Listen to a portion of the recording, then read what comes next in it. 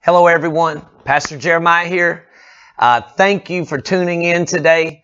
And this is Worship Wednesday. Worship Wednesday. And uh, I, I, we call it Worship Wednesday because if, if, if you are watching this video and it's the morning time, you're on the way to work or you're trying to set some time before you go to school or you're, um, you haven't quite left the house to go to work yet, I want you just to get in your minds that today I'm going to worship the Lord. No matter what I see, no matter what I hear, no matter what I feel, no matter what comes against me, God, I'm going to worship you. This is Worship Wednesday. And so thank you for tuning in. And uh, this week, as I said yesterday and the day before, we are on location right here at Hope Farms, Hope Farms Women's Ministry. And this is a ministry that just has, we've, it's just opened and it is to receive women with life controlling issues who want to be set free, who want to be delivered, who want to be restored, who want to see a miracle in their lives. And uh, this place is a miracle. We are sitting in a miracle. God worked it to where this place has been opened. This is His hand, and it's for His glory. And uh, and so in in in right in line with all that, the whole week today and the next couple days and all this past week, we've been talking about receiving or conceiving your miracle. And uh, the Lord, this is, uh, as I've said, this is 2018. This is the year of overflow. And God is pouring out the miraculous upon His people. And I'm so thankful for that. And uh, so we just have to be in a position to receive the miraculous. And today, you know what? Every time you're tuning in on these devotions, every time you're uh, praying, every time you're getting before God, every time you're taking what you're learning from these devotions and you're meditating on them, you're allowing the Holy Spirit to speak to you through them and to lead you in what you're learning. You know what? You're positioning yourself. That's what you're doing. You are allowing these this this teaching, these devotions to position you to receive from the Lord. And so I thank you so much for tuning in today. And we're about to jump right back into the Word of God. We have been uh, studying out of 1 Samuel chapter 1. 1 Samuel chapter 1. And uh, we've been we've been just seeing how um, the Lord was walking with Hannah for her to receive the miraculous. And uh, the first day, as I was talking to you the first day, uh, we talked about to conceive or to receive your miracle. You cannot be satisfied with less. You have to be, don't be satisfied with less, be satisfied with God's best. And, uh, and so we talked about not, not, uh, receiving what's less than what God has for us. Number two, on the, on day one, we talked about that if you're going to receive your miracle, you have to be willing to go through your miserable. You have to be willing to go through the season of miserable to step into the season of miracle. And, uh, and I believe the Lord allows that because when you step into the miraculous, out of the season of the miserable, you give Him all the glory for it. He gets all the praise for what has happened. And then yesterday, uh, or, yeah, yesterday we began to talk about some uh, other things about how to receive a miracle. And uh, we talked about how the enemy will provoke you at the place of conception or the place of reception. You cannot allow the enemy to keep you out of the place of conception. You've got to put yourself in the place where you can conceive and receive your miracle. And then also number four, yes, number four yesterday was this. To receive your miracle, you got to be willing to weep before the Lord. You've got to be willing to pour out your soul before God. And I believe there's times when we do that, that the heavens open. So let's go on to number five today. Number five today. And I want you to, I want to just direct your attention to verse 11. And uh, so Hannah has been weeping before the Lord. Now we pick up in verse 11, and this is what the Bible says. Then she made a vow and said, O Lord of hosts, if you will indeed look on the affliction of your maidservant and remember me, and not forget your maidservant, but will give your maidservant a male child, then I will give him to the Lord all the days of his life, and no razor shall come upon his head. Now, this is a powerful, we, I could probably preach for an hour on verse 11 alone. because it has some, some very unique points about prayer, but it also has some unique points about our heart being lined up with God's will. So, number five, I want to just tell you this today. Number five, to conceive your miracle, the miracle must have God first and you second. Now, that's a powerful truth right there, and I'm about to undig and un, un, pull the layers out from behind that or over it. It to conceive your miracle, it must have God first and you second. Many times when we're asking for a miracle, many times when we're seeking God for a, mir- a miracle or God to break through or God to show up in, a, in an amazing way, we're putting us first and we don't even know it. We're putting us first because, well, let's just lay it out for what it is. We have a need we have a need, and that need sometimes can be the difference between life or death. It can be sometimes the difference between uh, whether we get to keep our home or not. Sometimes it can be the difference between uh, one of our loved ones going to hell or heaven. I mean, it's a serious need. We're not, we're not just asking God to give us a piece of bubble gum here.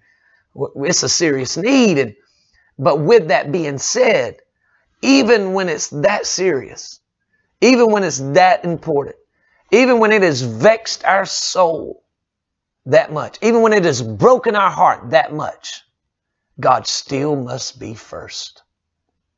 God still must be first, and we must be second. And I want you to grab something that Hannah did in verse 11 that I believe, in just my personal opinion, I believe it raised the eyebrows of God. I believe it, it, I mean, I believe it turned the face of the Lord towards her. And this is what she said.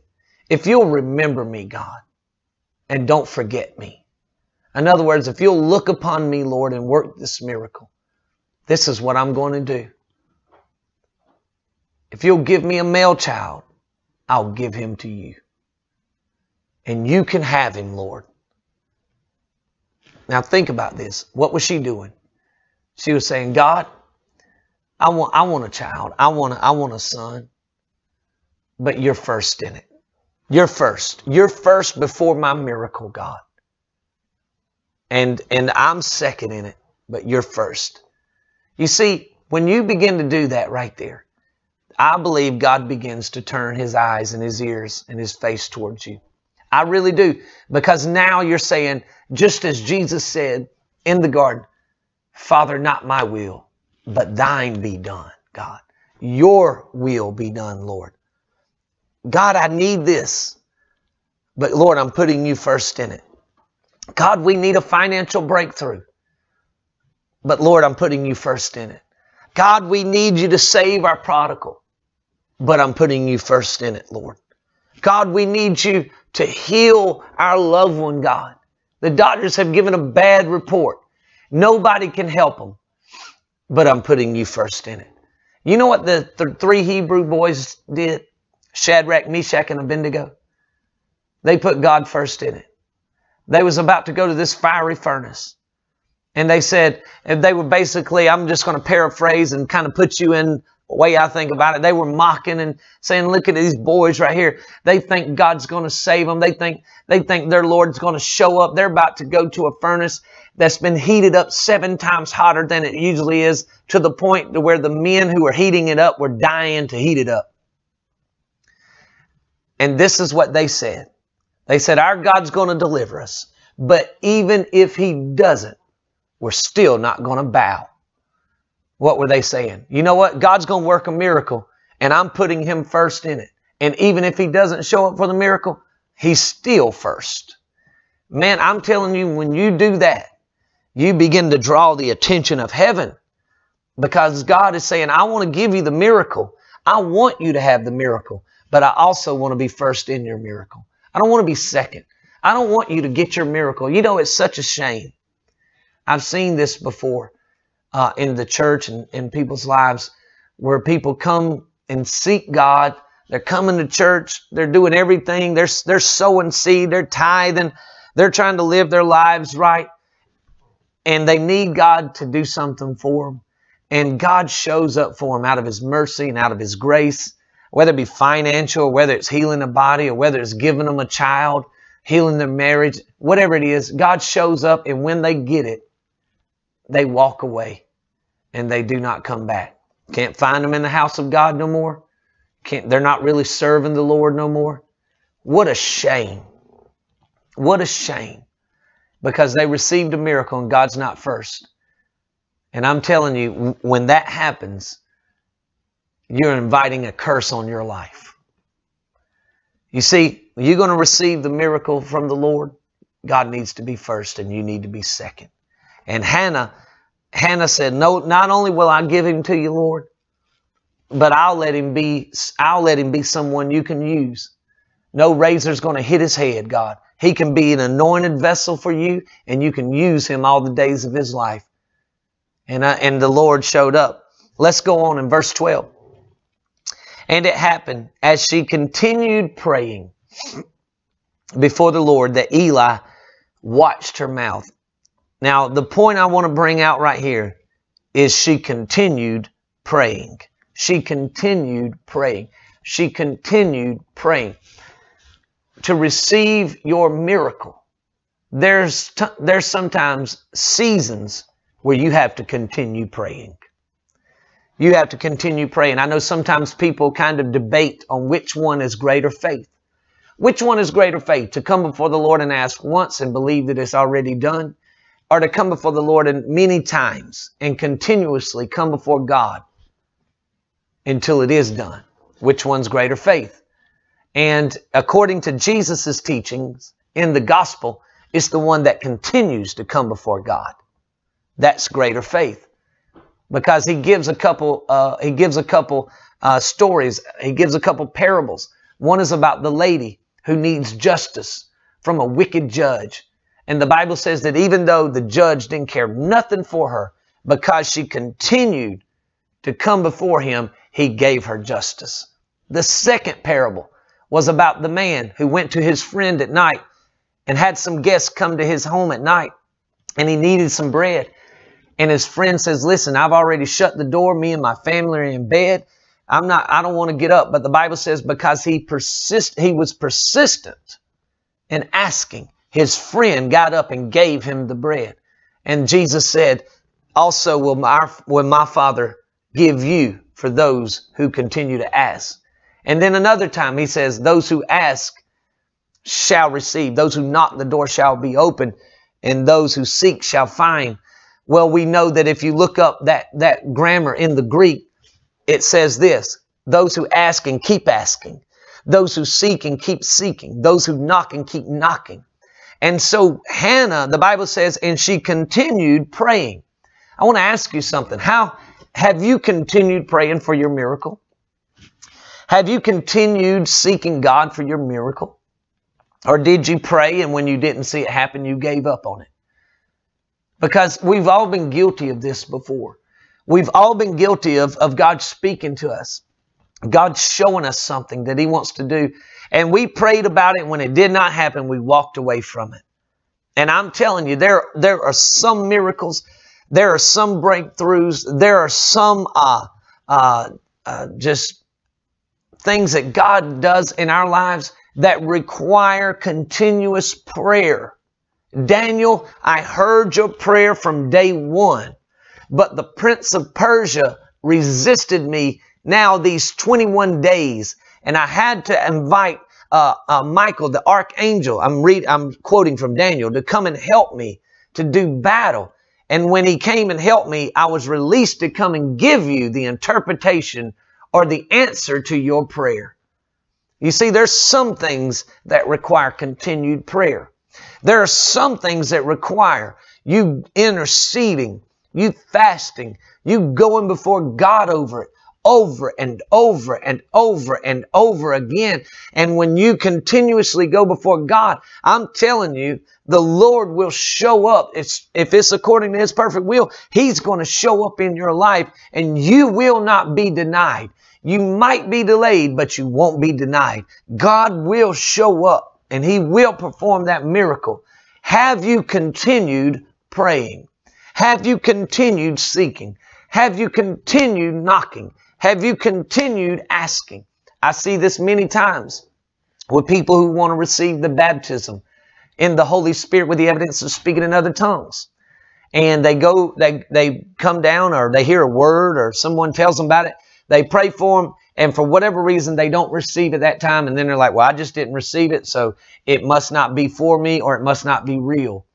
Well, do you realize that when I talked about asking, seeking, and knocking, that that is actually within context of the, of the Holy Spirit because the Bible goes on and says, thus he spake of the Holy Spirit who had not been given yet because Jesus had not been glorified. So when we're coming before God for miracles, we need not give up, church. We need not quit. We keep praying. We keep seeking God. Let me ask you something.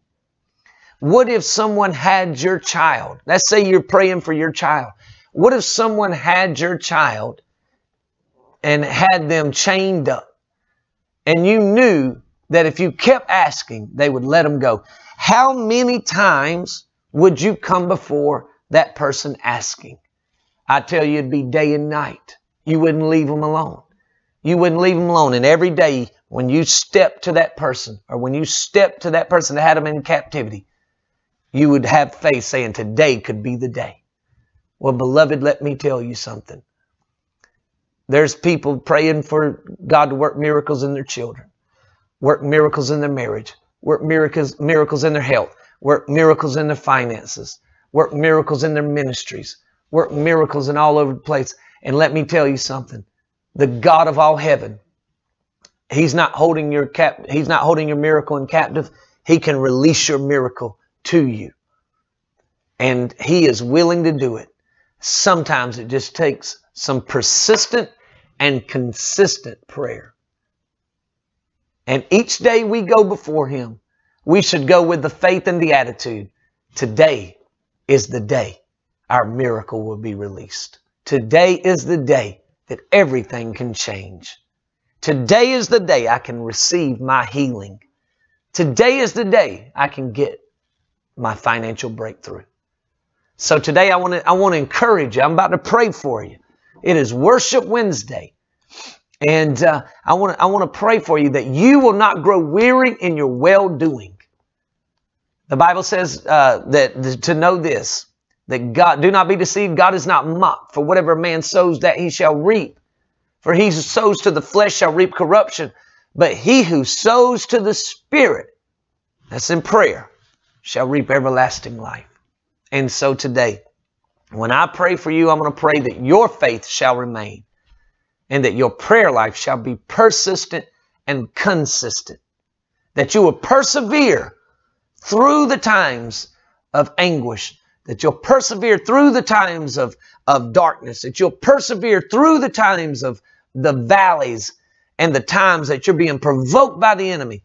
You'll persevere through them and you'll receive all that God has for you today. In the name of Jesus. And I believe it for you today. Father, I thank you for every person, your dear children watching, your dear sons and daughters watching, God. And Lord, today, as I begin to teach and, and Father, just share my heart and share from your word today. God, I'm decreeing and declaring that today their miracles going to show up in the name of Jesus. Father, as we come before you, persistent and consistent in prayer, I thank you that you hear our prayers. I thank you that you answer our prayers. I thank you, God, that you are more than willing and able to release miracles in our lives. And I ask today, in the name of Jesus, that miracles would show up in the lives of your sons and daughters watching and listening. And I thank you for that right now. Father, I ask that you would help us, that our faith shall remain, that we should not grow weary in well doing, and that God, we would come before you with faith and we would come before you with humility, yet boldly approaching the throne of grace through the blood of Jesus. Asking God, knowing that you will perform because you reward those who diligently seek you. And God, I thank you for it in Jesus' mighty and holy name. Amen. Amen and amen. Thank you for watching today. Uh, just one more time, I, or, I, today I just want to tell you We are in this wonderful, man, just amazing place, Hope Farms, right here. This is I'm upstairs. I'm actually uh, we're actually filming right here in the house that is going to receive these wonderful ladies that God is going to begin to put back together for His glory and His praise and His name's sake. And so, with that being said today, if you feel, if the Holy Spirit is leading you to sow seed, to give to this ministry, Hope Farms, listen, uh, you can do it and you can email Hope Farms 2018 at gmail.com and uh, just reference it, reference it to uh, Deborah and whatever the Holy Spirit tells you to give, just be obedient. Every dime you give is not only tax deductible, but it goes uh, right to this ministry, Hope Farms, and that and it is for uh, seeing ladies with life controlling issues be set free, be healed, be restored, and uh, be and walk in a, in a in a relationship with Jesus Christ. So thank you so much. I appreciate you watching today. And uh, I will see you tomorrow. God bless. Thank you. Thank you for tuning in to the Abundant Life devotional series. These devotionals are available across many platforms, including Facebook, the Abundant Life Revival Network YouTube channel, and the Abundant Life app. If you are in the South Atlanta or North Macon, Forsyth areas, we would love to have you come to visit one of our campuses. For locations or more information about Abundant Life Church, please visit us at abundantlifechurch.com. And remember, this is your season to overflow.